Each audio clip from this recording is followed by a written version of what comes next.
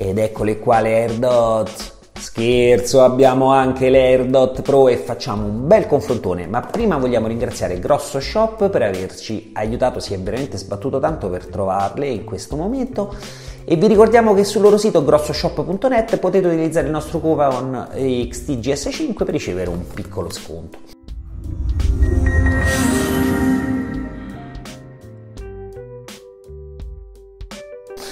Allora, cominciamo dalle AirDot di prima generazione, le AirDot, che vi dico subito non mi hanno convinto, anzi mi hanno convinto pochissimo in verità.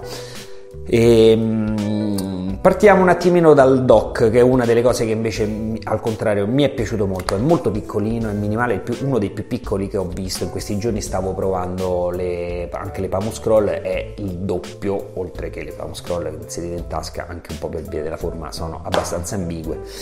Quindi un bel dock minimale, piccolino, con un LED di ricarica che qui è nascosto, compare solo al momento della ricarica che ha un attacco di tipo micro USB. Chiusura magnetica piuttosto solida e assolutamente insomma, sicura, non si rischia di perderlo. Anche gli auricolari si, si, inseriscono essi in modo magnetico e in modo abbastanza facile e si estraggono allo stesso modo facilmente, ora sono girati. Gli auricolari sono una delle cose che mi sono piaciute come design. Io già utilizzavo il micro, il mini auricolare che purtroppo però non aveva il touch, quindi non era comodissimo, ma come design erano perfetti, almeno per le mie orecchie perfe- sono perfetti perché si inseriscono perfettamente e si incastonano, potrei fare 10 round di box senza perderli. Questa è un'altra cosa che mi è piaciuta. C'è un'ampia superficie touch anche se ho il sospetto che solamente la parte centrale sia sensibile. Indifferentemente un, sia a destra e a sinistra con un tocco si mette in pausa e in play la musica e si risponde alle chiamate con un doppio tocco invece si avvia l'assistente vocale Primo problema, i comandi non, non, sempre vengono ricepiti facilmente. Ecco, forse adesso che ho capito che centralmente le riceve meglio, eh, hanno cominciato a funzionare un pochino meglio, ma diciamo che 7 volte su 10 solo riuscivo a impartire i comandi. Qui abbiamo un Bluetooth 5.0, mm, ma devo dire che i problemi di comunicazione ce ne sono stati. Allora, l'ascolto della musica è sufficiente. Bassi così così alti mi sembrano troppo alti almeno per i miei gusti. Eh, ma i problemi maggiori ci sono durante la chiamata perché gli interlocutori non sempre mi riuscivano a capire. Ho trovato in verità dei risultati altalenanti. Qualche chiamata buona l'ho fatta ma eh, è capitato spesso di dover riagganciare e ripetere la chiamata per, perché non riuscivano ad ascoltarmi non riuscivano a comprendermi ma il vero problema è piuttosto nel pairing eh, del, delle cuffie, ovvero nella sincronizzazione tra di loro. Capita alcune volte di trovarne una delle due che non funziona, è necessario reinserirle nel dock, ritirarle fuori e a quel punto mm, solitamente si, ri, si risincronizzano tra di loro.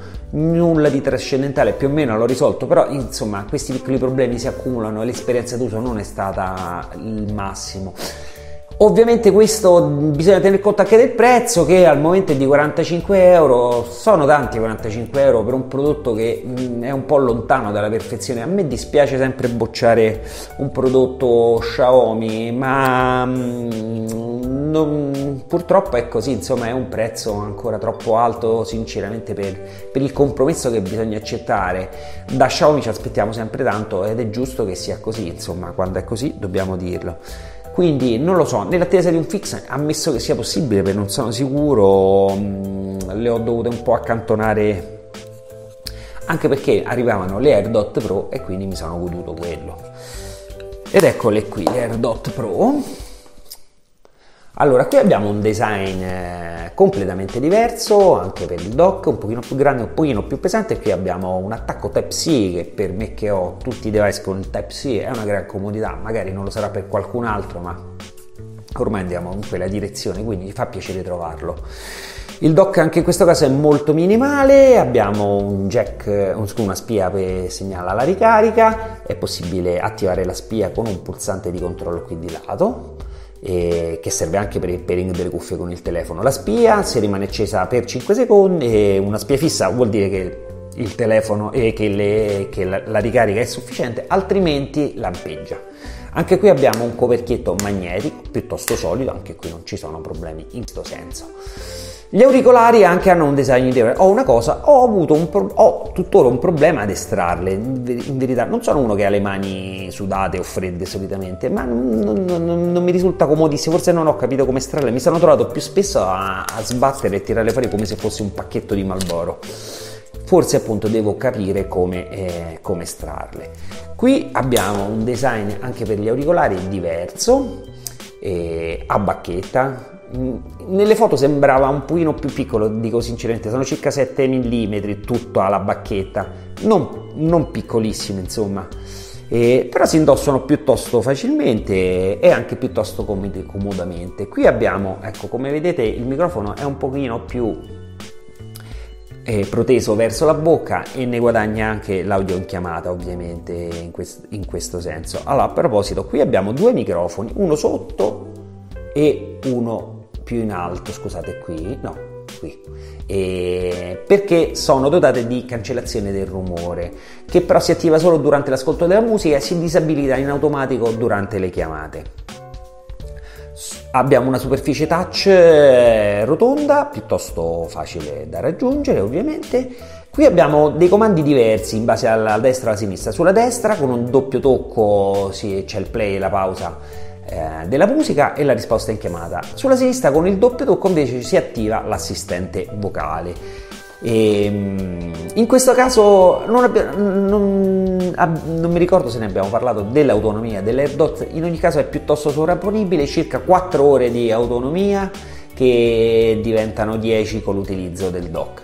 Nonostante il Bluetooth 4.2, l'audio in chiamata è sempre piuttosto chiaro, ho trovato solo qualche problema o qualche occasionale chiamata e nella musica anche abbiamo un, sinceramente un eh, molto migliore rispetto all'AirDot eh, di prima generazione con dei buoni bassi e degli alti equilibrati e me la sono goduta molto.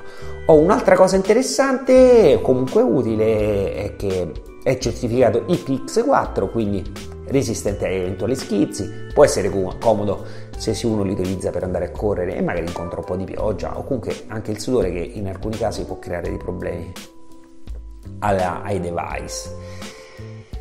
Mi sono piaciute? Sì, mi sono piaciute. Non sono perfette, come si dice in questi casi, bene, ma non benissimo. Il problema anche in questo caso resta il prezzo, anche se che è intorno ai 75 euro, ma sono appena uscite, qui sicuramente avremo un prezzo che andrà in calo, de, si assisterà non appena le forniture diventeranno un pochino più regolari, a questo punto penso ormai dopo il capodanno cinese.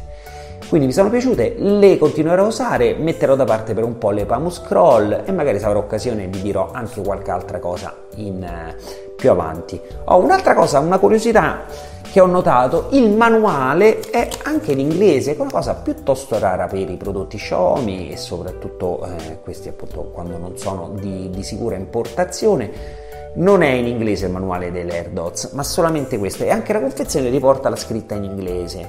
Questo mi fa pensare che è possibile, è probabile una commercializzazione o comunque un'esportazione fuori dalla Cina non molto in là e ci piacerebbe ecco, a quel punto vedere anche i prezzi ufficiali quali potrebbero essere.